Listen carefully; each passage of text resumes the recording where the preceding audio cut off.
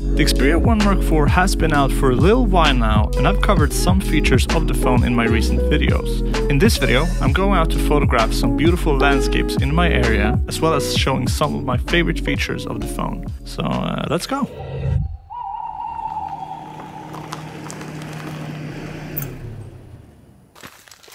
Well, hello there! Welcome to a new video and thank you for clicking on it. I really appreciate that. So I haven't really been able to post anything on YouTube for uh, during the summer here because we've been moving, uh, moving to a different city closer to the forest, which is perfect. So that's why it's been a little quiet. But from now, you'll see a lot of new videos on the channel. So I'm really, really excited for it.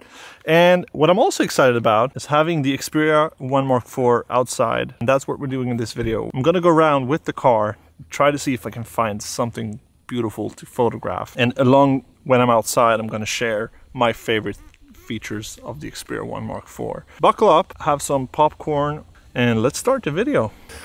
And also worth mentioning is that I'm going to spend the night in this little package above my car. I think you know what it might be. And I need to remove this because I want to have some badass b-roll and this is not it.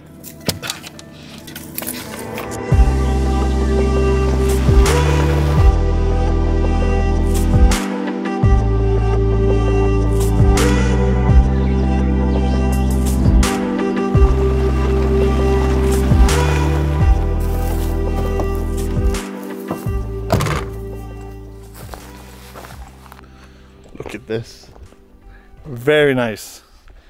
I really like ferns. I think I'm gonna try to find a shot with them because there's a lot of ferns here.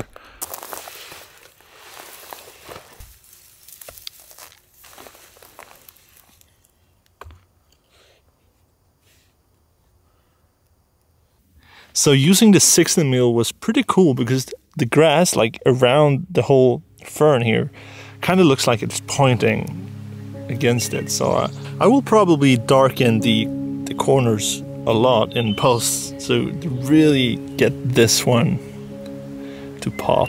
This is a pretty cool shot.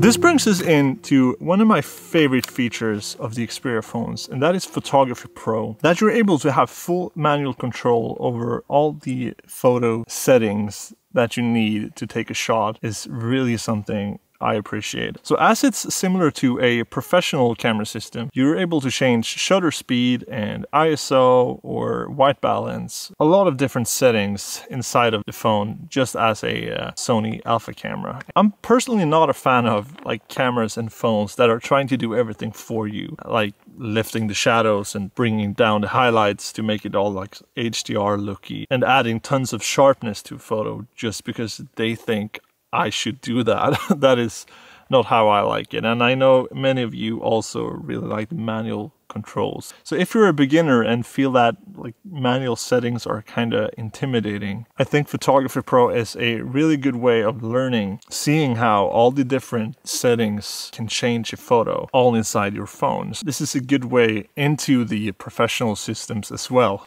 Learn your settings and I can guarantee you will see a difference in your photos.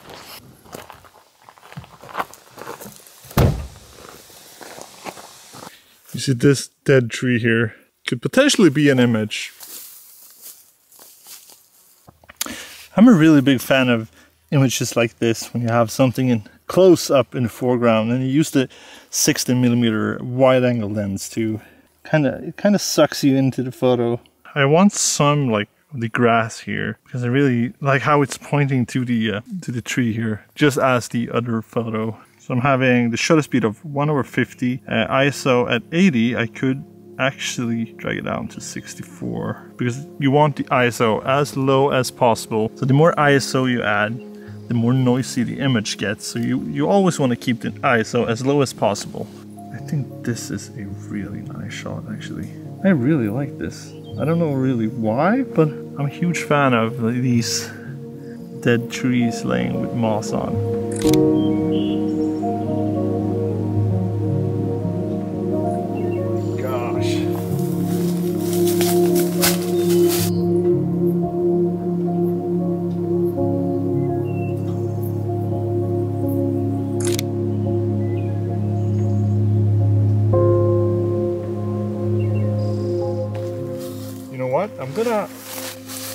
Uh,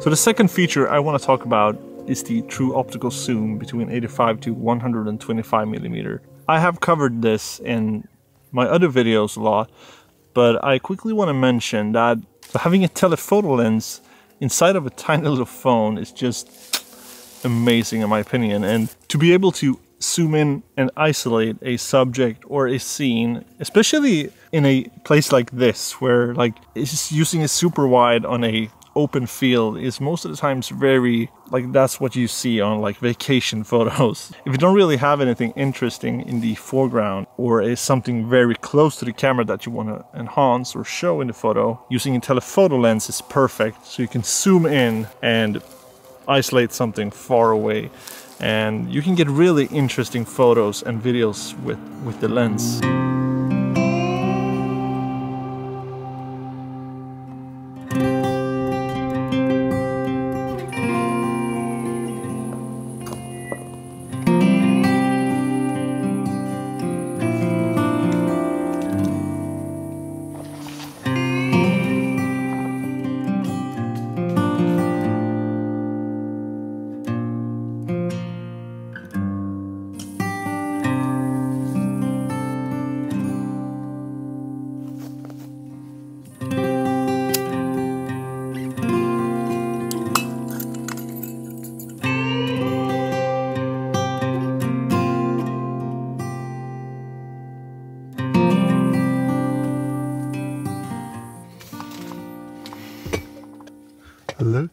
This.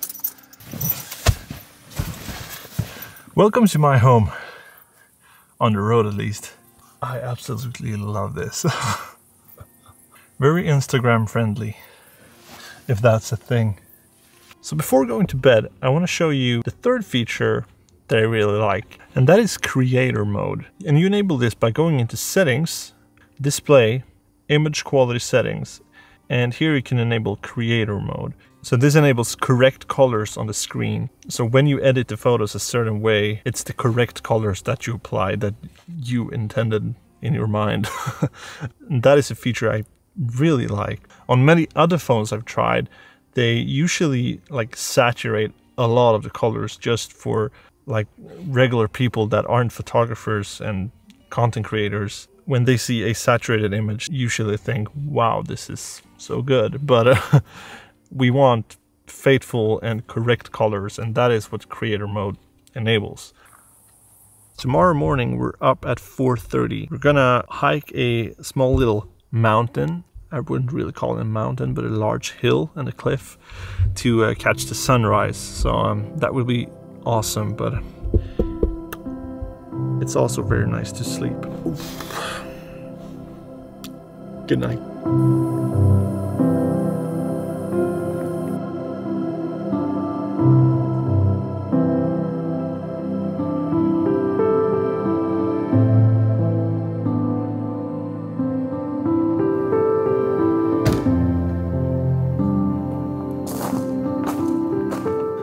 So we're heading to this cliff right here to watch the sunrise. The sunrise is in like 25 minutes, so I hope we're able to get there in time.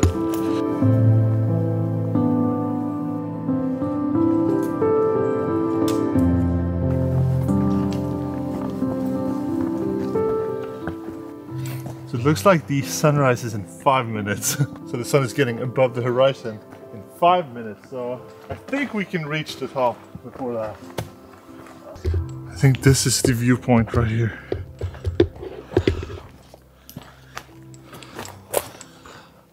Seems like we we're here at the second that the sun is above the horizon.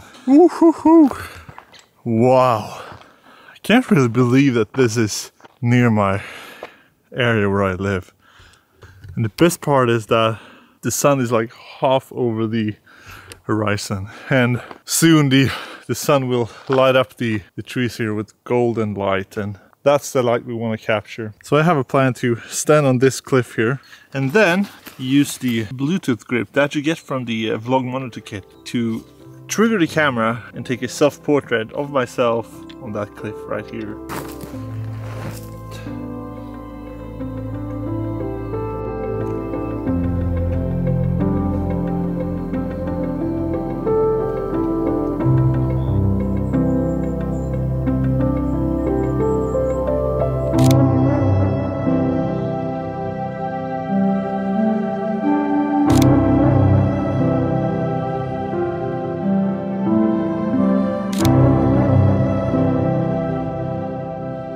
So you probably guessed this by now, but this is the fourth feature I want to highlight. And I've used this a couple of times now, both with the Pro I and the One Mark IV, to uh, not only like use it for vlogging, but to remote shoot the camera like I did here today. I've also used it like place the phone on a high tripod and lifting up the tripod and remote shoot to get a higher perspective. So having this paired with the Xperia is a, a very cool feature to, to have if you want to get some creative shots. So I guess we only have one thing to do left and that is enjoy the sunrise. Det tog inte med någon kaffe Pete. Det var ju smart alltså. So I'm very thirsty after walking from there and all the way up here and I forgot my water. But then I remembered as a parent of a young child, you you're always ready. And I still got this in my bag, so it's a sign. I'm sorry, son, but I take this. Goodbye, view. Hello, coffee. Ah, best time of the day. So one of my absolute favorite things about the Xperia phones is how well they work together with the Sony Alpha mirrorless systems. And um, while I enjoy this warm cup of coffee, Future is going to demonstrate how the mo external monitor feature works. What are you doing? Get to work. Cheers.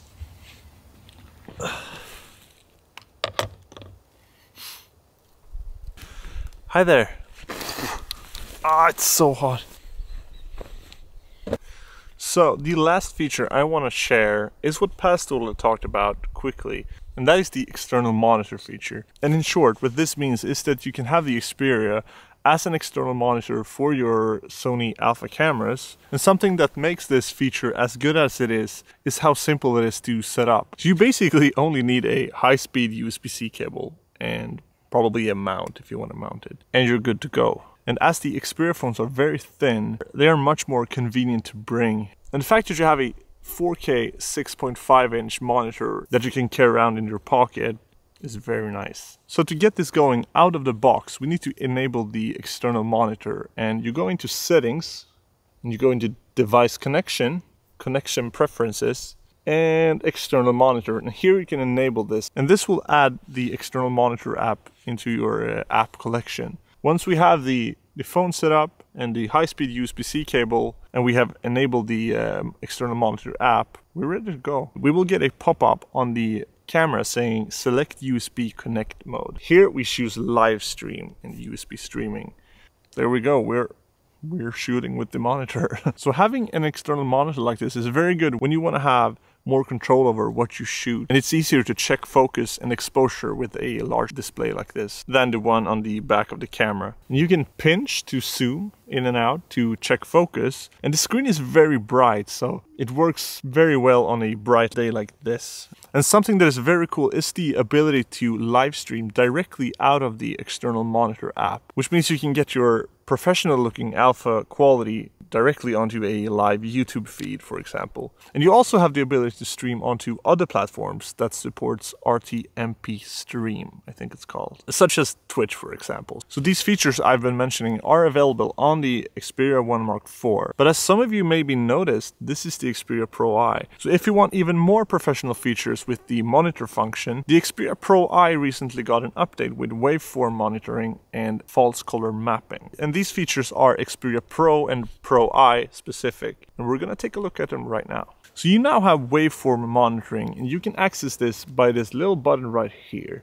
And this is for monitoring exposure levels and color balance. And there are a few different waveform displays to choose from. So you can either have the luminosity level displayed or the RGB parade. So you can also set it to have it across the bottom like this or smaller in the corner like this. And this is personally what I prefer. And the second new feature to the uh, Pro and Pro I is the ability to have false color mapping. So this is a great tool for checking your exposure on different parts of your frame. So the different colors represent different exposure values. Purple being underexposed with no details left and red represents the opposite, overexposed with no details left. But you should aim to see like a lot of pinks and greens in your shot.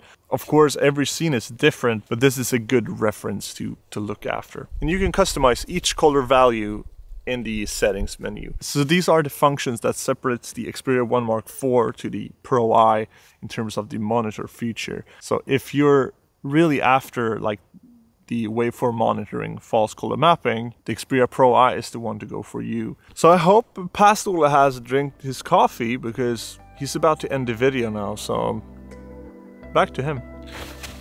We reached the end of the video and I want to say a huge thanks to you for watching this far. Ah, coffee is turning cold, so I have to drink it up now. Have a good one and I will see you in the next video. Ah, bye!